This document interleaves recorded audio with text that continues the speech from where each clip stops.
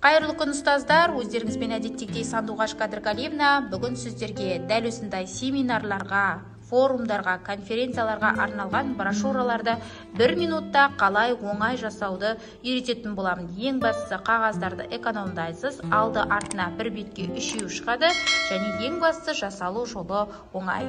Үйрену үшін видеоны міндетті түрде соңына дейін қараңыз. Бұл бізде электронды нұсқасы әкелер форумына жасалған жаңағы брошюраның енді осының жасалу жолын сіздерге қазір үйрететін боламын. Ол үшін біз гуглдың іздеу жолағына canva деп жазамыз. Бұл сайтқа жалпы тіркелу өзіңіздің google аккаунтыңыз арқылы жүзеге асады. Жалпы бізде canva сайтын қолдану туралы youtube арнамда көптеген видеолар бар. Бұл жерде презентация веб-сайт буклет барлығын жасауға болады. Енді жаңағыдай брошюраларды қалай жасаймыз? Ол үшін біз мында поиск бөліміне брошюры деп жазамыз. Осы кезде көптеген брошюралардың дайын шаблондары шығады. Бұл жерде корона белгісі тұрғандар әрине ақылы деген сөз десек те тегін нұсқаларында өте әдемі шаблондар бар. Кез келген біреуін таңдайсыз мәселен ең бірінші шаблонды біз аламыз және де изменить шаблон дегенді басамыз. Осы кезде мына жақ бөлігінде де шаблоны бөлігінде көптеген шаблондарды сізге рекомендовать етіп ұсынып тұрады.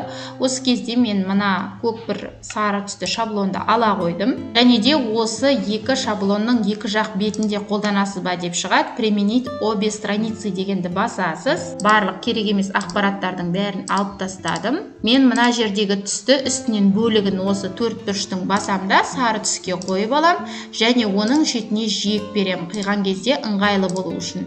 Және осы төрт бұрышты көк бөлікті де сары түске бояй қоямын яғни ең бірінші бетін мен жасап жатырмын. Кейін енді бізге мына жерге текст қою қажет болады белгілі бір добавить етеміз. Текстті және өзіміздің мекемеміздің атауын жазамыз. Және де осы жерде кішірейтіп аламыз да шрифтісін таңдаймыз. Көп жағдайда мен монсеррат деген немесе лато деген лора деген шрифттерді жақсы көремін. Өзім сондықтан монсеррат деп жазамын міне осы шрифтін аламын да таңдаймын осы бөлікке қойып аламын да енді ctrl с деген батырманы басу арқылы немесе мышканың оң жағын басып ставить етіп үш осы брошюраға бірдей етіп қойып отырамын одан кейін бізде картинка қойылған әке мен бала ол үшін элементы дегенге өтемін де отец и ребенок деп жазамын бұл кезде бізде мына графика бөлімінде көптеген суреттер шығады. Осы жерден өзіңізге қажетті бір суретті таңдап аласыз. Мен мына суретті алдым да және оны кішірейтіп осы жерге қойдым және оны копировать етіп алып осы жерге қойып шықтым. Одан кейін бізде форумның аты.